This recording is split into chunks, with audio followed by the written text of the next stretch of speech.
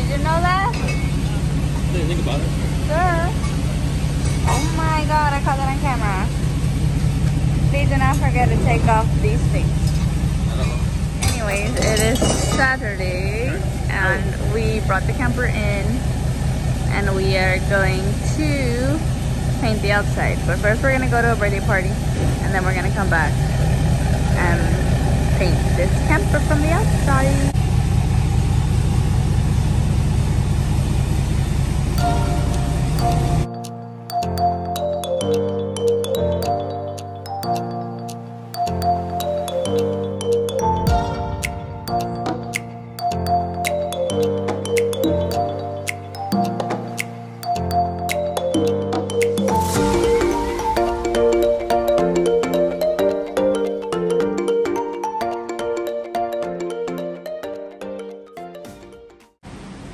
Technically, I bought it. You can't touch it?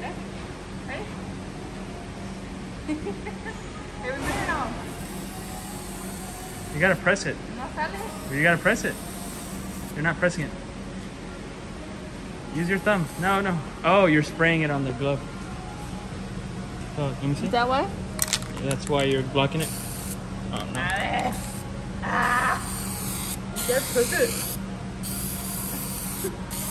Okay, let me do it, sir. Making sure it comes out. Something was clogging it. Well, it is the Girl. thing, but that's just how it does it. Not too close. Damn, it's spitting paint. Is it my glove? Yeah. Okay, I'll stop. Here.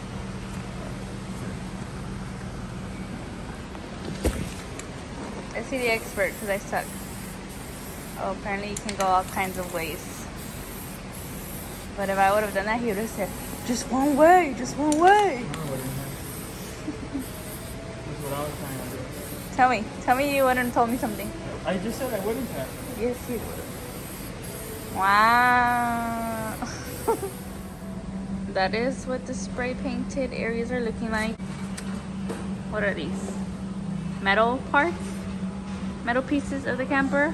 This belongs on truck beds, but we're gonna use it for the entire camper because of all that it does. It is an all-purpose protective coating, so it should protect the camper. uh, yeah, that's how we're using it.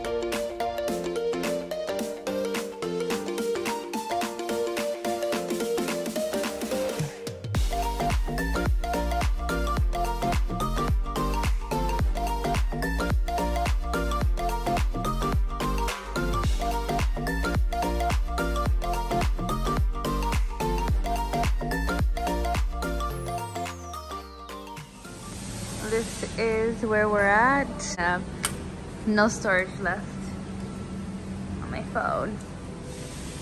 And when you guys are like, girl, why don't you have storage? How many pictures and videos do I have? Two million three hundred forty-seven thousand. Like legit, like 42,000.